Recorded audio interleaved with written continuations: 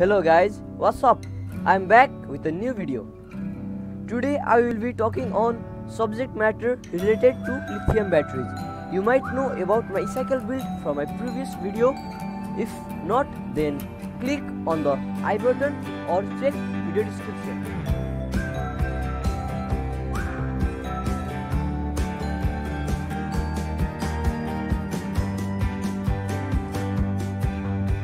For the power to my bike, I made this lithium ion battery pack fully rescued from old laptop batteries. If you want to know how I did it, then comment below.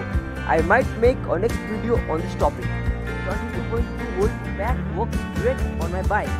It combined with other 2 lead acid battery making 48 volt in total gives me a average of 20 kilometers of travel distance. Don't you think it is great for such a recycled battery? As you might know, lithium batteries could be extremely dangerous when they are overcharged, overcharged, short circuit, overcurrent flow, etc. They can catch fire or explode, which was the cause of recalling 2.5 million Galaxy Note 7 phones by Samsung. A proper battery pack must include a proper BMS which provides safety features to the mentioned danger. It was very necessary to have such a BMS on my battery pack, but I could not find such proper BMS near me. So I have this tiny lithium balanced charge circuit with overcharge protection to my battery pack. Now with this on my battery pack, I could charge my battery without any worries. So how does this thing actually work? The IC combined with a small resistor and a capacitor measures the battery voltage and when the battery voltage reaches its threshold voltage which is 4.2 volt and it is the full charge voltage of lithium batteries including lithium ion and lithium polymer it triggers the transistor and it charges itself through a 620 ohm resistor so that it maintains 4.2 volt balanced in each cell of battery. The reason why I have this balance lead connector on the side because I had not received this balance charge circuit while I was preparing the battery pack and also I could not completely trust on these so I can charge it theoretically with my B6 lipo charger and maintain the voltage between the cells so that my battery will last much longer. For the circuit diagram for the connections, you can download this circuit from the link in the video description. Now we have to connect minus terminal of our battery pack to B minus terminal, first cell of our battery pack to B1, second cell of our battery pack to B2, third cell to B3 and so on. Starting from negative, remove the insulation from wires and be sure you don't short them when you do it. If you are a beginner on electronics or don't have hand steady enough then don't try to imitate it. Since my battery pack is of 6 cell and this balance charge circuit only features up to 5 cell, I have to take risks and balance charge the last cell manually.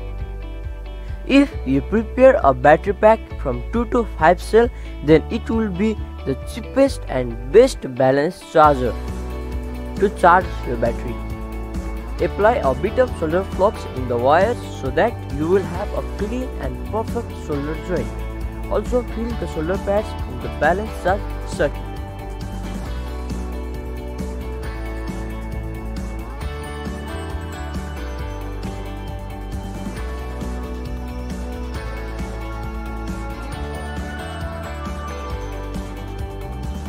Starting from the leftmost side minus terminal of the battery goes to B minus and first cell to B1.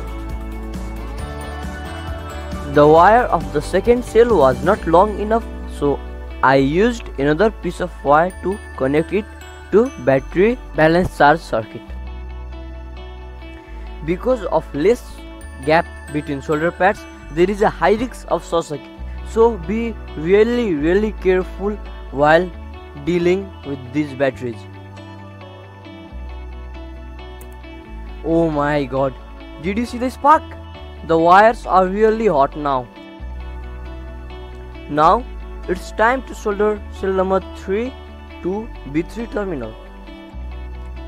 Similarly, connect fourth cell wire to B4 and fifth cell wire to B5 as we did previously with cell 1, 2 and 3.